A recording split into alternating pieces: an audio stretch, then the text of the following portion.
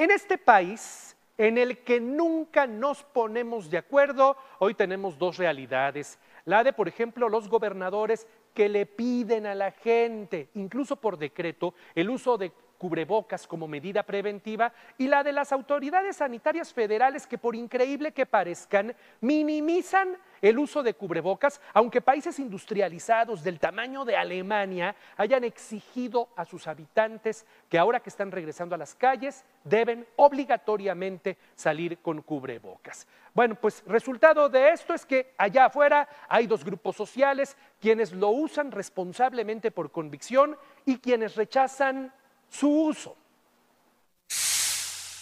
Por el riesgo, o sea, pues sí, todos debemos de tener como conciencia y pues si vas a hacer algo, pues lo mínimo, pero pues sí, tener un poquito de responsabilidad ciudadana, sobre todo evitar contagio y pues sí, o sea, si eh, estás como en una zona de riesgo, pues está igual que no te contagies. En mi caso, ¿por qué no lo utilizo? Porque siento que me ahogo por eso casi no lo ocupo. Pues yo digo que pues, es por nuestro bien, ¿no? No es porque nos obliguen, ¿no? Porque cada quien toma sus cosas como quiere. Claro, definitivo, porque como ves ahorita estamos esperando hacer un trámite aquí en el banco y la verdad pues hay bastante gente, estamos a la intemperie y pues ya con todo lo que nos han dicho ya sería mucho que no lo utilizáramos. Combatir el, el virus, ¿no? Para que cualquier persona que a lo mejor tenga algún síntoma y todo esto, pues por lo menos nos proteja, ¿no? Principalmente por la nariz o por la boca.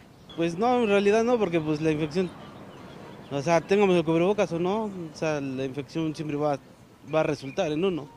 Pero es que en realidad eso, eso se lo tienen que poner los que están enfermos, no los que están buenos, porque los que están enfermos son los que pueden infectar y uno que está bueno pues no.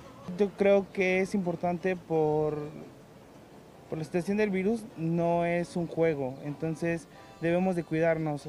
Como dicen, el virus se transmite por, eh, por la saliva, entonces al cubrirte totalmente te ayuda un poco más ya que estás en el, en el aire, o sea, estás caminando, estás conviviendo con personas más que nada. Yo digo que no, porque este, pues mucha gente andamos así y gracias a Dios no nos ha pasado nada. Saber que nos obliguen, yo creo que no nos pueden obligar, porque ¿qué nos pueden hacer? ¿Llevarnos a la cárcel? ¿Qué van a hacer con tanta gente en la cárcel?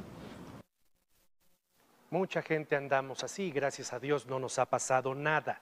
Tengo abierta una encuesta sobre este tema en mi cuenta de Twitter, arroba jcarlos-valerio. Y justamente la pregunta de este día tiene que ver con ese tema, con el tema vinculado al uso del cubrebocas. A partir de esta polémica, ¿usted está usando cubrebocas? 87% me dice que sí, 12% me dice que no. 8 mil votos desde esta mañana hasta este momento, desde esta mañana cuando abrimos esta encuesta.